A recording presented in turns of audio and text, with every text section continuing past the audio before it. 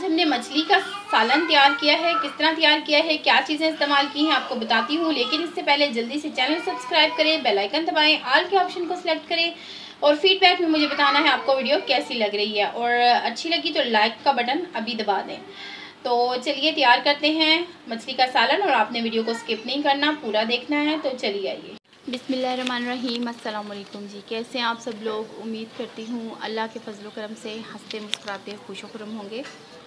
मैंने पिछली वीडियो में भी आपको बताया था कि कंस्ट्रक्शन हो रही है हमारे मोहल्ले में तो काफ़ी गर्दों को बार हो चुका है। तो ये देखें, ये मैं आपको नज़दीक करके दिखाई हुई देखें, ये घर बन रहा है, दूसरा पोर्शन जो है वो बनाया जा रहा है। तो काफ़ी गर्दों को बार है, ये देखें, नीचे भी और पिछली गली में भी काम हो रहा है। तो काफ़ी कंस्ट्रक्शन चल रही है, गर्मी भी बहुत सख्त है और हौसला है इन मज़दूरों का, जो कि इतनी गर्मी में काम करते हैं अल्लाह ताला इसका अजर देगा उनको इन मेहनत का फल मिलता है। तो काफ़ी गर्मी है ये देखें पौधे भी जो है ना वो बेचारे सुकड़े सिमटे हुए खुश्क पड़े हैं ज़मीन भी बिल्कुल खुश्क पड़ी है। तो ये देखें ये पिछली गली से ला के जो है ना वो यहाँ पर फेंक दिया है आ, मतलब मलबा जो था निकाला है जिस चीज़ का भी। तो पानी भी रुका हुआ नकासी जो है ना वो रुक जाती है तो फिर ये देखें ये हाल हो जाता है। खाती हूँ पिछली गली में भी काम हो रहा है इसी तरह। ये देखें ये सामने वाली मंजिल ये भी हमारे सामने वाला जो घर है अंगूरों की बेल वाला आ, ये भी जो है ना सेकंड पोर्शन बन रहा है। इनका भी ये देखें ये देखिए काम होने लग रहा है। तो मैं आपको गली में दिखाती हूँ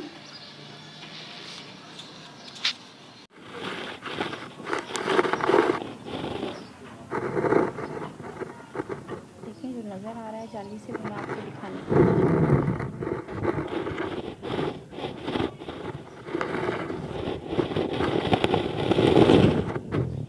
अच्छा जी, आज मैं बना रही हूँ मछली का सालन।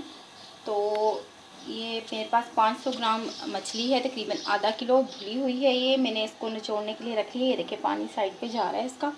इसको मैंने निचोड़ने के लिए रख दिया है और यहाँ पर मैंने घी रखा है इसको फ्राई करने के लिए, क्योंकि पहले मैं इसको फ्राई करूँगी, फिर मैं इसका सालन बनाऊँगी। तो फॉलो करना है आपने स्टेप को हर स्टेप को फॉलो करना है ताकि बहुत अच्छा सा सालन आपका तैयार हो बहुत अच्छी रेसिपी है।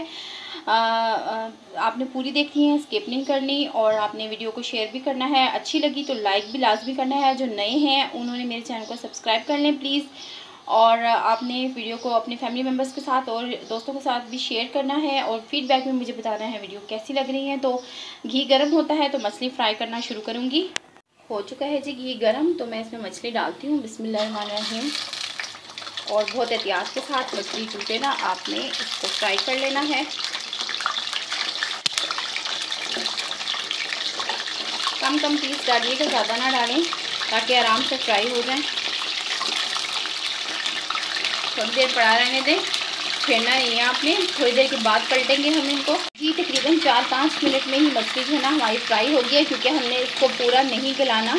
बाकी जो है वो सालन में दम में हम इसको गलाएँगे ताकि अच्छा सा टेस्ट आए तो हम इसको निकाल लेते हैं बस। इसका कच्चापन ख़त्म करने के लिए हमने इसको इस तरह फ्राई किया है।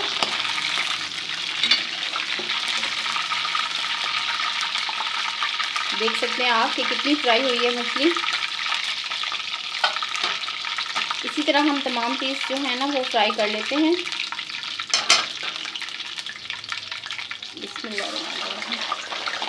फ्लेम को ना अपने लो टू मीडियम रखना है। हाई पर आपने नहीं करना।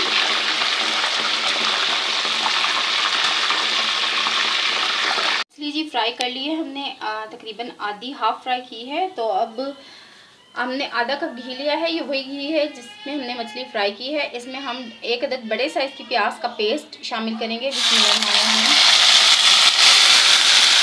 और इसको फ्राई करेंगे। प्याज के पेस्ट को फ्राई करते हुए तकरीबन तीन से चार मिनट हो गए हैं तो अब हम इसमें शामिल करेंगे लहसुन अदरक का पेस्ट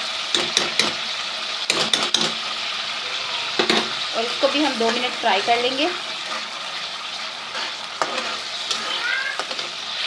देखें प्याज और लहसुन ना बहुत अच्छा सा फ्राई हो गया इनकी शक्ल देखें आप बदल गई है रंगत भी इनकी। तो इसमें मैं तीन अदर टमाटर का पेस्ट बिस्मिल्लाह शामिल कर देती हूँ।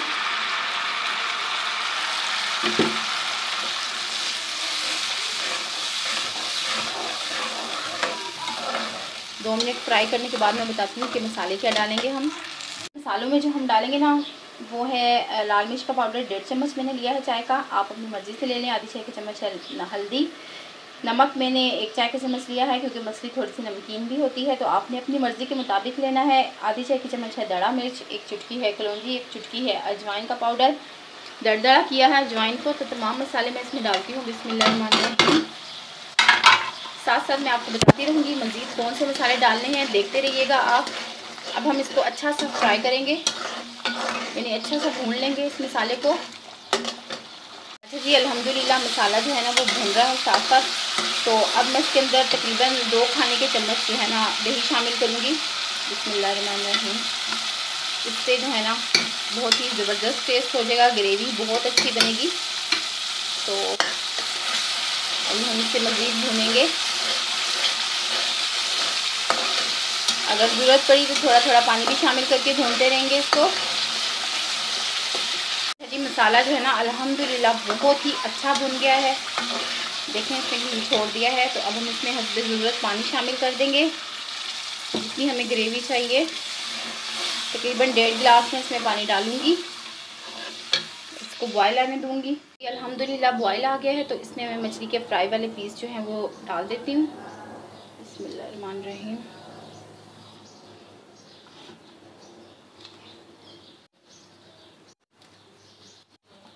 और अब हम इसको छेड़ेंगे नहीं। हम इसको तकरीबन 10 से 12 मिनट जो है ना, वो धीमी आँच पर रख देंगे। चमचा नहीं चलाएँगे कि मैं घी भी डाल रही हूँ उसका और अभी हमारे पास है एक चाय का चम्मच धनिया, मोटा दरदरा पीस लिया है। दरदरे से कुछ ज़्यादा पीसा है। एक चाय का चम्मच है ज़ीरा पाउडर। तो मैं ये दोनों चीज़ें जो है ना, ऐसे इसके ऊपर डाल दूँगी। और इसको ढक देते हैं हम 10 मिनट के लिए बहुत ही लो फ्लेम पर। अच्छा जी, तकरीबन पाँच मिनट गुजर गए हैं, मछली को दम पर रखे हुए। तो अब हमने इसमें जो चीज़ शामिल करनी है, वो है आधी चाय की चम्मच जो है कसूरी मेथी और आधी चाय की चम्मच पिसा हुआ गरम मसाला मिक्स। तो हम ये दोनों चीज़ें इसके ऊपर छिड़क देते हैं और एक हरी मिर्च डाल देते हैं। दो हरी मिर्चें डाल देते हैं और मज़ीद दम पर रख देते हैं। सात मिनट के लिए अलहमदिल्ला जी, दस मिनट के बाद हमारी मछली जो है ना, उसका सालन जो है वो तैयार हो चुका है, फ्लेम कर दिया है हमने ऑफ़, ये देखें। माशाल्लाह, हमने इसे छेड़ा नहीं है बोटियों को और बोटियाँ टूटी नहीं है, बहुत ही अच्छा सालन तैयार हुआ है।